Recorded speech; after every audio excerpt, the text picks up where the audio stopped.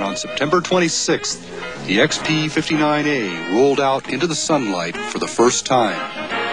In all but two regards, it appeared to be a very conventional design. A single-place, mid-wing fighter, resting low on its tricycle landing gear. But of course, it wasn't conventional. There wasn't any prop, and tucked beneath the wings, along the fuselage, were a pair of nacelles housing the IA engines. Those engines roared to life for the first time on the aircraft that day. And by September 30th, just four days later, Bob Stanley and the airplane were primed for its initial taxi tests. After completing some low-speed trials, he proceeded to a series of high-speed runs in order to get a feel for the controls.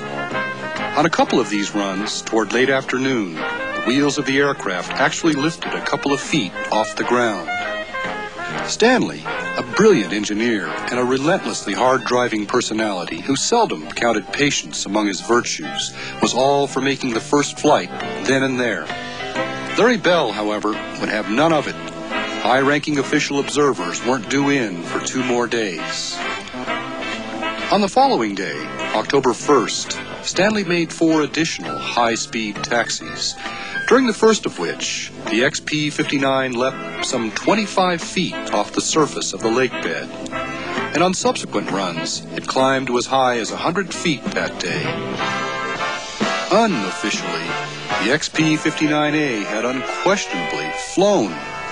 But the brass hadn't been there to see it, so officially, it hadn't really happened. Finally, on October 2nd, the brass was on hand. At about 1 in the afternoon, Stanley advanced the throttles, released the brakes, and slowly at first, the aircraft moved across the hard-baked clay. After what seemed like an unusually long takeoff roll, its wheels finally left the ground. And less than 13 months after commencing the project, America had officially entered the jet age. GE's Ted Rogers, who'd come cross country with the airplane on the Red Ball Express, reported what he called a strange feeling as he watched the flight. Dead silence as it passed directly overhead.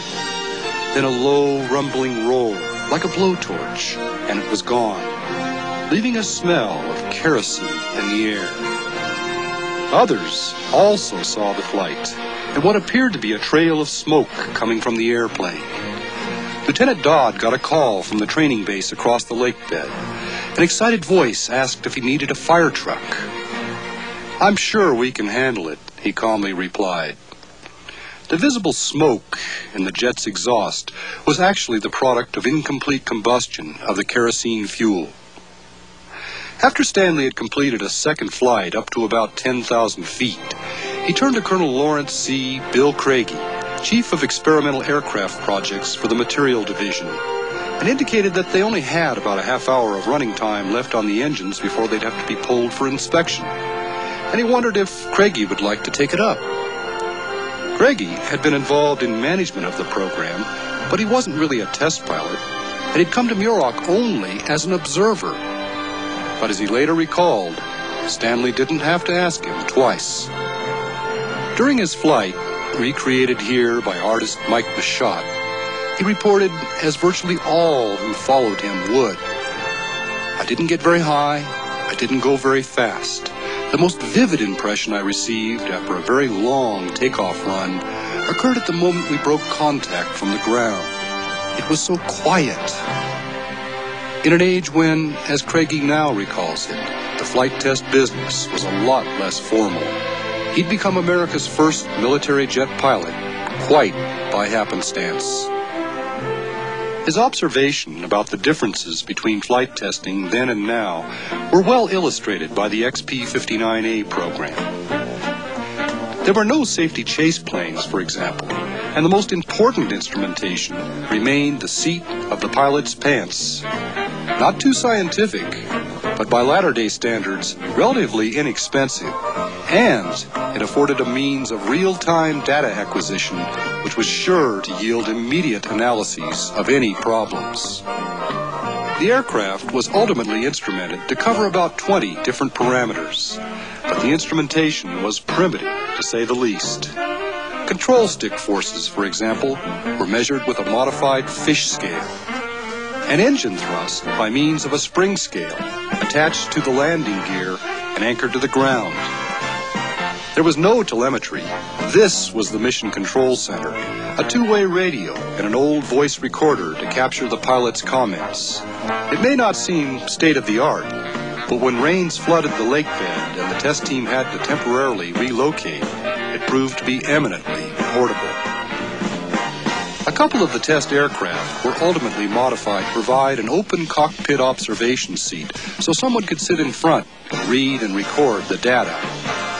Probably the only jet aircraft ever to offer such exhilarating aircrew accommodations. They provided a lot of ground personnel with their first and doubtlessly scintillating exposure to jet flight. Even Larry Bell, who had developed an intense fear of flying, couldn't resist the opportunity, although he looked none too thrilled about it.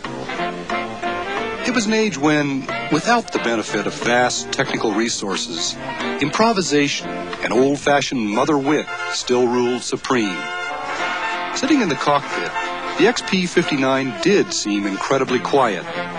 And unlike piston engine airplanes, its ride was unbelievably smooth. The engines ran so smoothly, in fact, that the cockpit instrumentation tended to stick because of the lack of vibration. What to do?